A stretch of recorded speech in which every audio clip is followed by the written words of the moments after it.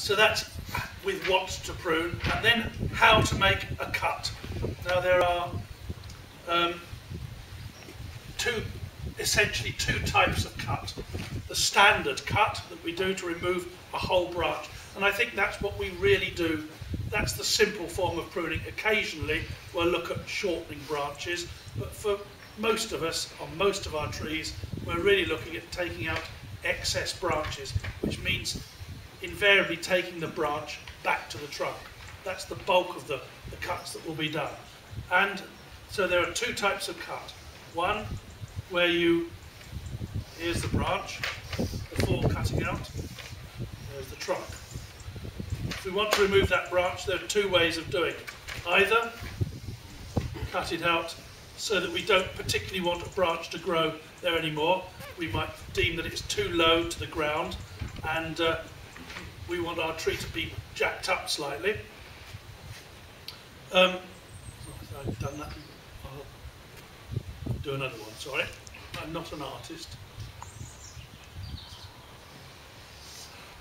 Slightly exaggerated, but we've removed that branch and we don't want another one to come. And we've just left a little collar there. That's slightly bigger than it would be normally, just so that you can see. But there's a ridge where every branch joins the trunk here there's a slight swelling, just like there. And the idea is to keep that little ridge intact. So we would prune it just there. So that it's not, you don't want to cut it right into off so flush, it's, it makes a much bigger wound. That's the first thing. Or even worse, I'll need my assistant a minute. Or even worse, that it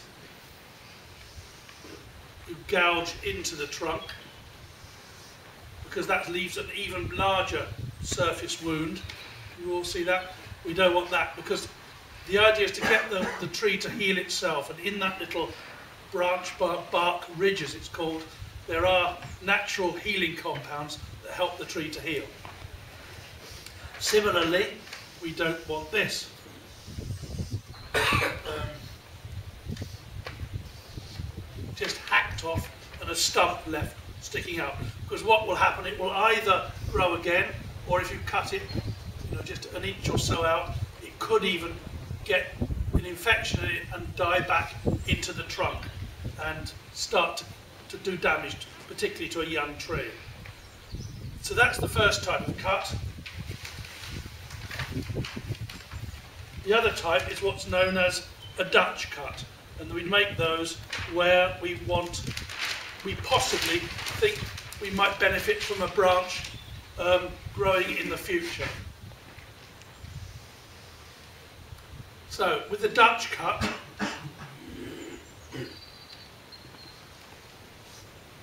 there's our branch that's been removed. It was up here. And you can see what I've effectively left is a small triangle of wood, a sloping cut touching the, the trunk at the top but not necessarily nicking it with a slope on it. And then the theory is that as the sap comes up the trunk in the spring, little dormant buds which are sat under there, those of you who do hedge laying will know that when you cut down a, a pleacher, lay it down, a lot of shoots will come from around the base of the cut. And what you'll get from here are young shoots coming out, several of them probably, from around the base of that you do it sloping because that makes the rain run off. We also do a little sloping cut like that so we haven't got a vast exposed area to heal. so we've taken a big ugly upright branch and we've got three or four more horizontal branches, 45 degrees to 90 degrees, and we leave those for several years until they form fruit buds and start to come down. Then you can select out, take out the ones you don't want, and leave your new replacement branch to fill up the big gap in the tree that's been left. And you can leave, do these wedge-shaped cuts, uh, cuts wherever you want to. I think uh, it was um, an arboriculturalist who found out, discovered this, and they do it a lot in Holland. They're often called Dutch cuts or wedge cuts. Very quickly then, a bit about spacing our branches and um, types of tree that we've got. I think it's generally recognised now that most people want to grow centre leader trees, and certainly with cider apples, we want to grow centre leader trees because they are far more efficient, they're easier to prune, they capture the light more easily, as John pointed out, that's the most important thing.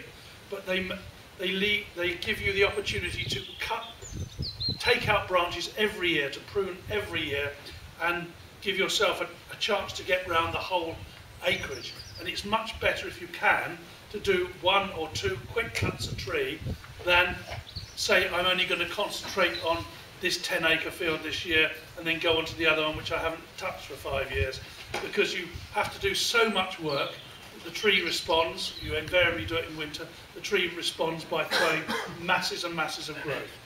So we're, this is the, what a, the old-fashioned, you don't see many of them now, perhaps in Kent, I'm not an artist, as you can see, a goblet-shaped tree where the sun pours in from the top, you've got four or five main branches, uh, they produce lots and lots of shoots. They throw vertical shoots off them because the sap's got nowhere to go from a big root system. And every year you have to climb into that canopy, take out all the vertical shoots, shorten others so that, so that you get um, lots of renewed bud on the main frame, which never really changes. The big problem with this is that A, it's an awful lot of work, and if you lose one big branch, you've lost a quarter of your tree in one go, and the tree responds by going mad. But what we're trying to grow is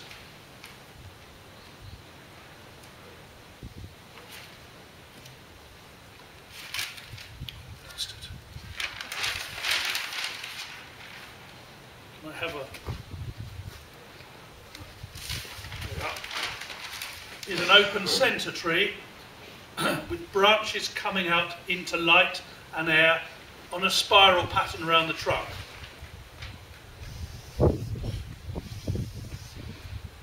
Largest branches at the bottom, they're not opposite one another.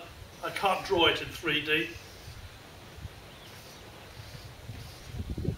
And the trunk, although I haven't quite shown it there, should be gradually tapering, wider at the bottom, gradually tapering off nice and straight and thick all the way up. Um, never tapering very rapidly, but a gradual taper.